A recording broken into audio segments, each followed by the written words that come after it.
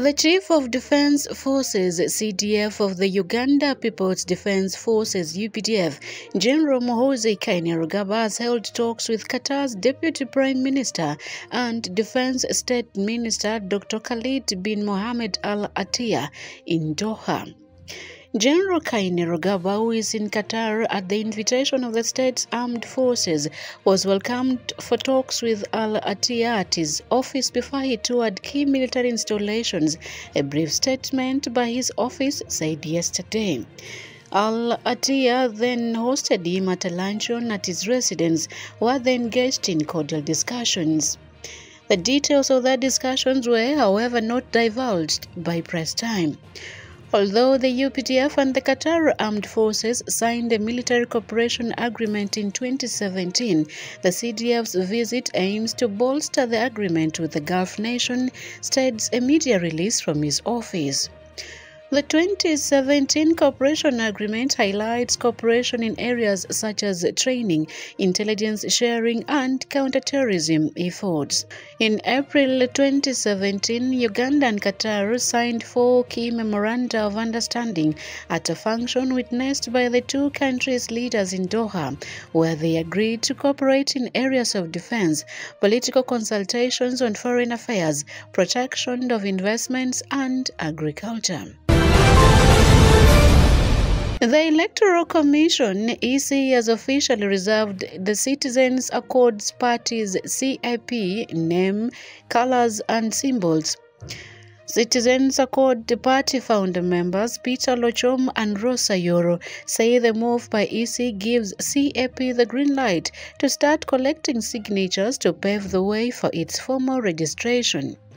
As a result, they are confident in the new party's ability to reshape Uganda's political landscape and inspire citizens to become more politically active. We are thrilled to announce that efforts to register a new political party, Citizens Accord Party, CAP or CAP, are underway. The party name and identity symbols have been reserved by the Independent Electoral Commission of Uganda.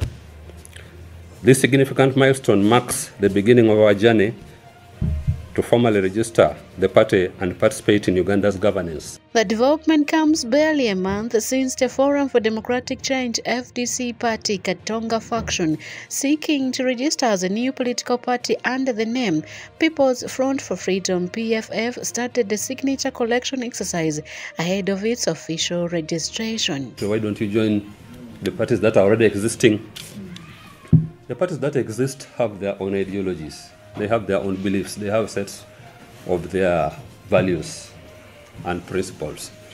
When we look at them, not one of them has the same beliefs like us. The authors of the new party envision a Uganda in which every community contributes to the country's development, benefiting not only Uganda but also the entire Great Lakes region. Uganda is set to hold the next general election in January 2026. A Kenyan court on Tuesday sentenced two men to 35 years in prison for murdering Ugandan Olympic athlete Benjamin Kiplagat last year.